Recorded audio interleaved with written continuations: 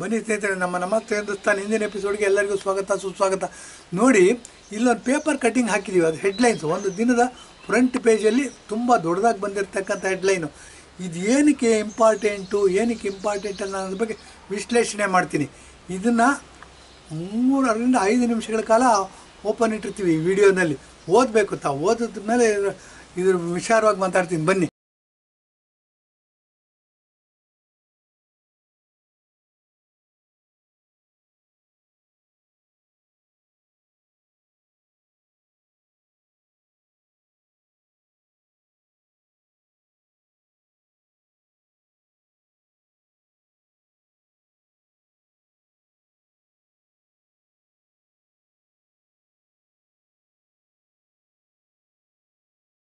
ಇದ್ರ ವಿಚಾರವಾಗಿ ಮಾತಾಡಬೇಕು ಅಂತಂದರೆ ಜರ್ನಲಿಸಮ್ಮು ಟಿ ವಿ ಮೀಡಿಯಾ ಇರ್ಬೋದು, ಪ್ರೆಸ್ ಮೀಡಿಯಾ ಇರ್ಬೋದು, ಫೋರ್ತ್ ಪಿಲ್ಲರ್ ಆಫ್ ಡೆಮಾಕ್ರಸಿ, ಇದು ಕಾನ್ಸ್ಟಿಟ್ಯೂಷನ್ ಒಪ್ಕೊಂಡ್ಬಿಟ್ಟಿದ್ದೀವಿ ಅದಕ್ಕೆ ಸಂವಿಧಾನಾತ್ಮಕವಾದ ಜವಾಬ್ದಾರಿ ಇದೆ.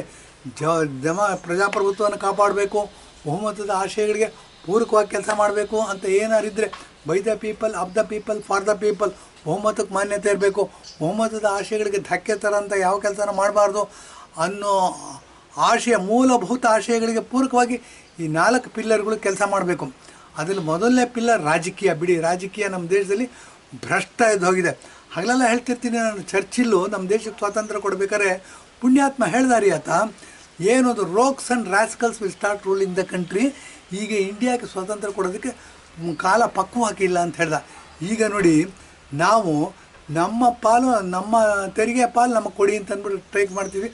ಅದನ್ನು ಹಾಕಿದ್ದೀವಿ ಈ ಜರ್ನಲಿಸಮ್ಮು ಟಿ ವಿ ಮೀಡಿಯಾ ಇರ್ಬೋದು, ಪ್ರೆಸ್ ಮೀಡಿಯಾ ಇರ್ಬೋದು. ಪ್ರೆಸ್ ಅಂತಂದರೆ ಡೈಲಿ ಬರ್ತಕ್ಕಂಥ ಪ್ರೆಸ್ಗಳು ವಾರಪತ್ರಿಕೆಗಳು ಮತ್ತು ಪಾಕ್ಷಿಕಗಳು, ಮಾಸಿಕಗಳು, ಅದ್ರಲ್ಲಿ ಒಂದು ಮಾತ್ರ ಹಾಕಿದ್ದೀವಿ.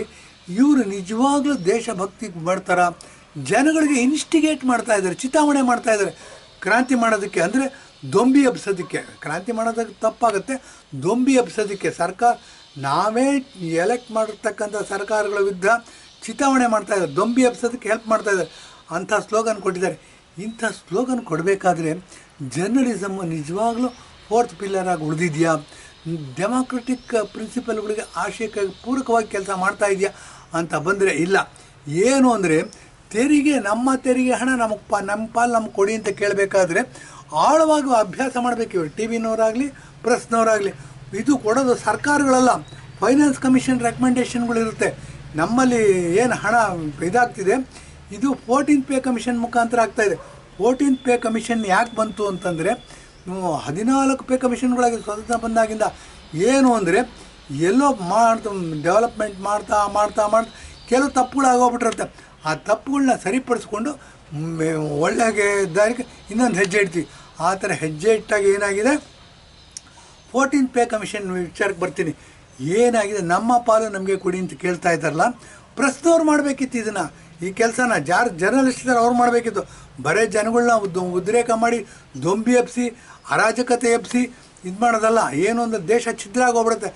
ಅಖಂಡತೆ, ಏಕತೆ, ಸಮಗ್ರತೆ, ಐಕ್ಯತೆಗೆ ಧಕ್ಕೆ ತರ್ತಾ ಇದೆ ಫೋರ್ತ್ ಪಿಲ್ಲರು ಈ ಫೋರ್ತ್ ಪಿಲ್ಲರ್ಗೆ ಏನು ಮಾಡಬೇಕು? ಇದಕ್ಕೆ ಸರಿಯಾದ ಮೆಡಿಸಿನ್ ಏನು ಅನ್ನೋದು ಮನೆ ಭಾಗದಲ್ಲಿ ಹೇಳ್ತೀನಿ. ಏನು ಅಂತಂದ್ರೆ ಆಳವಾಗಿ ವಿಶ್ಲೇಷಣೆ ಮಾಡ್ತಾ ಹೋದರೆ ಸರ್ಕಾರದ ಪಾತ್ರ ಏನೂ ಇಲ್ಲ ಇದರಲ್ಲಿ. ಏನು ಅಂದರೆ ಫೋರ್ಟೀನ್ತ್ ಪೇ ಕಮಿಷನಲ್ಲಿ ಹಿಂದೆ ರಾಜ್ಯಗಳಿಗೆ ದುಡ್ಡು ಕೊಡ್ತಾಯಿದ್ರು ಈ ಫೋರ್ಟೀನ್ತ್ ಪೇ ಕಮಿಷನಲ್ಲಿ ಒಂದು ತಿದ್ದುಪಡಿ ತಂದಿದ್ದಾರೆ. ಏನು ಜನಸಂಖ್ಯೆ ಆಧಾರದ ಮೇಲೆ ದುಡ್ಡು ಹಂಚೋದು ಅಂತ ಅಂದ್ಬಿಟ್ಟು. ನೋಡಿ, ನಮ್ಮ ಕರ್ನಾಟಕದಲ್ಲಿ ಆರೂವರೆ ಕೋಟಿ ಜನ ಇದ್ದೀವಿ ನಾವು ಇವಾಗ ಅಪ್ರಾಕ್ಸಿಮೇಟ್ಲಿ ಉತ್ತರ ಪ್ರದೇಶದಲ್ಲಿ ಇಪ್ಪತ್ನಾಲ್ಕು ಕೋಟಿ ಜನ ಇದ್ದಾರೆ. ಸೊ ನಮಗೆ ನೂರು ರೂಪಾಯಿ ಕೊಟ್ಟರೆ ಪರ್ ಹೆಡ್ಡು ಅವ್ರಿಗೂ ಪರ್ ಹೆಡ್ ನೂರು ರೂಪಾಯಿ ಕೊಡಬೇಕು. ನಮಗೆ ಎಷ್ಟು ಕೊಡ್ತಾರೆ? ಅದರ ಐದು ಪಟ್ಟು ಕೊಡಬೇಕಾಗತ್ತೆ ಅವ್ರಿಗೆ ದುಡ್ಡು. ಆರು ನಾಲ್ಕು ಇಪ್ಪತ್ನಾಲ್ಕು, ನಾಲ್ಕು ಪಟ್ಟು ನಮ್ಗೆ ನೂರು ರೂಪಾಯಿ ಕೊಟ್ಟರೆ ಅವ್ರಿಗೆ ನಾನ್ನೂರು ರೂಪಾಯಿ ಕೊಡಬೇಕಾಗತ್ತೆ. ಇಂಥ ವಿಷಯಗಳನ್ನ ಇವರು ಪತ್ರಿಕೆಯನ್ನು ಜವಾಬ್ದಾರಿ ಇರೋರು ಯಾಕೆ ವಿಶ್ಲೇಷಣೆ ಮಾಡೋದಿಲ್ಲ ಅನ್ನೋದು ನಮ್ಮ, ನಿಮ್ಮ ಮುಂದೆ ಬರ್ತಕ್ಕಂಥ ಮೊದಲನೇ ಪ್ರಶ್ನೆ. ಹಿಂಗೆ ಬಂದಾಗ ಎಸ್ ನಮ್ಮ ಫೋರ್ತ್ ಪಿಲ್ಲರ್ ಅಂತ ಏನಿದೆ? T V media press media ಇರ್ಬೋದು, ಇವರು ಫೇಲ್ಯೂರ್ ಆಗಿದ್ದಾರೆ ಅಂತಲೇ ಹೇಳ್ಬೋದು. ಬನ್ನಿ ಫೈನಾನ್ಸ್ ಈ ದುಡ್ಡಿನ ಹಂಚಿಕೆ ಆಗಬೇಕು ಅಂತಂದರೆ ಕೇಂದ್ರ ಸರ್ಕಾರ, ರಾಜ್ಯ ಸರ್ಕಾರ ಹೊಡೆದಾಟಕ್ಕೆ ನಿಂತಿವೆ. ಆದರೆ ಇವ್ರ ಪಾತ್ರ ಏನಿಲ್ಲ, ಇದನ್ನು ನಿರ್ಧಾರ ಮಾಡಬೇಕಾಗಿರೋದು ಫೈನಾನ್ಸ್ ಕಮಿಷನ್ ಫೈನಾನ್ಸ್ ಕಮಿಷನ್ ಮಾಡಬೇಕಾದ್ರೆ ಸಂಪನ್ಮೂಲಗಳನ್ನ ನ್ಯಾಯಬದ್ಧವಾಗಿ ಹಂಚಿಕೆ ಆಗಬೇಕು. ದೇಶದ ನೂರ ನಲ್ವತ್ತು ಕೋಟಿ ಜನಕ್ಕೂ ದೇಶ ಅಂತ ಬಂದರೆ ನೂರ ನಲ್ವತ್ತು ಕೋಟಿ ಜನ, ಕರ್ನಾಟಕ ಅಂತ ಬಂದರೆ ಆರುನೂರು ಕೋಟಿ ಆರುನೂರು ಕೋಟಿ ಜನ ಅಂತಲೇ ಹೇಳಬೇಕಾಗತ್ತೆ. ಆರು ನೂರ ನಲವತ್ತು ಕೋಟಿ ಜನಕ್ಕೂ ಒಬ್ರಿಗೆ ನೂರು ರೂಪಾಯಿ ಕೊಟ್ಟರೆ ಪ್ರತಿಯೊಬ್ಬರಿಗೂ ನೂರು ರೂಪಾಯಿ ಕೊಡೋ ಸಿಗೋ ಹಂಗೆ ನೋಡ್ಕೋಬೇಕಾಗಿರೋದು ಪ್ರಧಾನಮಂತ್ರಿಗಳ ಕರ್ತವ್ಯ. ಅದಕ್ಕೆ ಪೂರಕವಾಗಿ ಹಣ ಹಂಚಿಕೆ ಸಮಾನವಾಗಿರಬೇಕು, ಪರ್ ಹೆಡ್ ಸಮಾನ ಆಗಿರಬೇಕು ಅಂತ ಅಂದ್ಬಿಟ್ಟು ಫೈನಾನ್ಸ್ ಕಮಿಷನ್ ಏನು ಮಾಡಿದೆ? ರೆಕಮೆಂಡೇಷನ್ ಕೊಟ್ಟಿದೆ. ಅದರ ಪ್ರಕಾರ ಹಣ ಹಂಚಿಕೆ ಆಗ್ತಾ ಇದೆಯಾ ಹೊರತು ತಾರತಮ್ಯ ಮಾಡಿದ್ದಾರೆ ಅಂತಂದರೆ ಫೈನಾನ್ಸ್ ಕಮಿಷನ್ ಮಾಡಬೇಕಾದ್ರೆ ನೀವು ಇದ್ದಿರಲ್ಲ ಅವಾಗ ಯಾಕೆ ಬಾಯಿ ಮುಚ್ಕೊಂಡಿದ್ರಿ? ಯಾವುದೋ ಮಿನಿಸ್ಟ್ರ್ ಇದ್ದಾರೆ, ಅವ್ರು ಹೇಳಿದ್ರೆ ಏನು ತಪ್ಪು, ಇದಾಗಿಲ್ಲ ಅಂತ ಹೇಳಿದ್ರಂತೆ. ಅವ್ರಿಗೇನಾಗಿದೆ ಚಿತಾವಣೆ ಮಾಡಿ ಈಗ ಇದು ಮಾಡ್ತಿದ್ದಾರೆ, ಹೌದು, ಇದು ಸರಿ ಇಲ್ಲ ಅಂತ ಅಂದ್ಬಿಟ್ಟು ಮುಂಚೆ ಅವ್ರು ಒಪ್ಕೊಂಡಿದ್ರು ಇದು. ಏನು ಹಣ ಹಂಚಿಕೆ ಆಗ್ತಾ ಇದೆ, ಸರಿ ಅಂತ ಅಂದ್ಬಿಟ್ಟು. ಇದ್ರ ಬಗ್ಗೆ ಮುಂದೆ ಯಾವಾಗಲಾದರೂ ವಿಶದವಾಗಿ ಮಾತಾಡೋಣ. ಏನಾಗುತ್ತೆ ಅಂದರೆ, ನಮ್ಮ ಮೂಲಭೂತವಾದ ಪ್ರಶ್ನೆ, ಡೆಮಾಕ್ರಸಿಯ ನಾಲ್ಕು ಪಿಲ್ಲರ್ಗಳಿದ್ದೀವಿ ಅಂತೀವಿ ಇದೆ ಅಂತ. ಮೊದಲನೇದು ರಾಜಕೀಯ. ರಾಜಕೀಯ ಅಂತ ಅಂದ್ಬಿಟ್ರೆ ಎಂ ಎಲ್ ಎಗಳು, ಎಂ ಪಿಗಳು, ಮಂತ್ರಿಗಳು, ಮುಖ್ಯಮಂತ್ರಿಗಳು, ಪ್ರಧಾನಮಂತ್ರಿಗಳು. ಇವರು ನಮ್ಮ ದೇಶದ ಏಕತೆ, ಅಖಂಡತೆ, ಸಮಗ್ರತೆ, ಐಕ್ಯತೆನ ಕಾಪಾಡೋಕ್ಕೆ ಫಿಟ್ ಆಗಿದ್ದಾರೆ ಅಂತಂದರೆ ಹಂಡ್ರೆಡ್ ಪರ್ಸೆಂಟ್ ಹೇಳ್ಬೋದು ರೀ. ಏಯ್ಟಿ ಪರ್ಸೆಂಟ್ ಇಲ್ಲಿರ್ತಕ್ಕಂಥ ಜನಗಳು ಯಾರು ಫಿಟ್ ಅಲ್ಲ. ಏನು ಅಂದರೆ ರಾ, ರಾಜಕೀಯ ಒಂದು ಒಂದು ಉದ್ಯೋಗ ಆಗಿ ತಗೊಂಡಿದ್ದಾರೆ. Fastest way of making money fastest way of making ದುಡ್ಡು. ಇದಕ್ಕೆ ಈ ಥರ ಯಾವುದಾದ್ರೂ ಒಂದು ಉದ್ಯೋಗ ಇದೆ ಅಂತಂದರೆ ಅದು ರಾಜಕೀಯ ಉದ್ಯೋಗ, ರಾಜಕೀಯ ವಲಯ ಅಂತ ಹೇಳ್ಬೋದು. ಆ ಥರ ಆಗೋಗಿದೆ. ಇಡೀ ಪ್ರಪಂಚದಲ್ಲಿ ಇನ್ನೂರು ದೇಶಗಳಿವೆ. ಹೆಚ್ಚು ಕಡಿಮೆ ಇನ್ನೂರು ದೇಶಗಳಲ್ಲೂ ನಮ್ಮ ದೇಶ ನೋಡಿ ಮೊದಲು ನಿಂತ್ಕೊಳ್ಳುತ್ತೆ ಭ್ರಷ್ಟಾಚಾರದಲ್ಲಿ. ಇದನ್ನು ನಾವೆಲ್ಲ ಯೋಚನೆ ಮಾಡಬೇಕು. We the people of India ಅಂತ ಹೇಳ್ತೀವಿ. ಅಂಬೇಡ್ಕರ್ ಅವರು ಸಂವಿಧಾನ ಕೊಟ್ಟಿದ್ದಾರೆ. ಅಂಬೇಡ್ಕರ್ನ ಎಲ್ಲದಕ್ಕೂ ಉಪಯೋಗಿಸ್ತೀವಿ. Narendra Modi O B C ನಾಯಕ ಅನ್ಯಾಯ ಮಾಡಿದ್ದಾರೆ. ಅಂಬೇಡ್ಕರ್ಗೆ ಅನ್ಯಾಯ ಮಾಡಿದ್ದಾರೆ ಅಂತ ಹೇಳ್ತಾರೆ.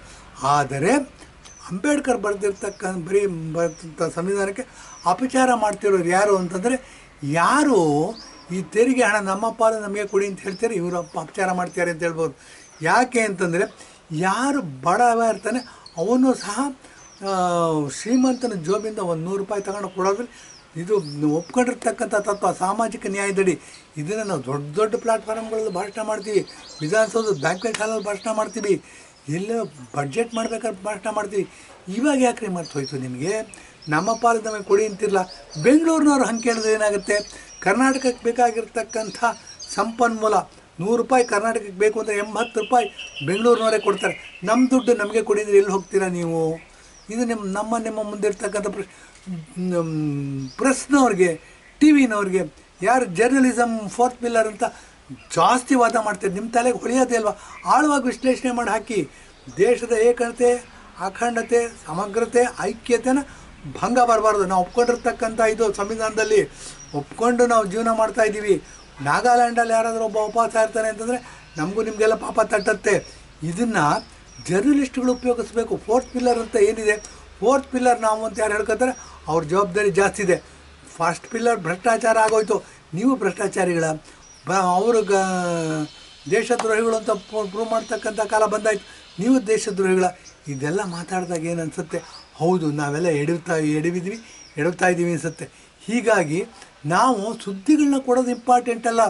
ಸುದ್ದಿಗಳು ವಿಶ್ಲೇಷಣೆ ಮಾಡಬೇಕಾಗುತ್ತೆ.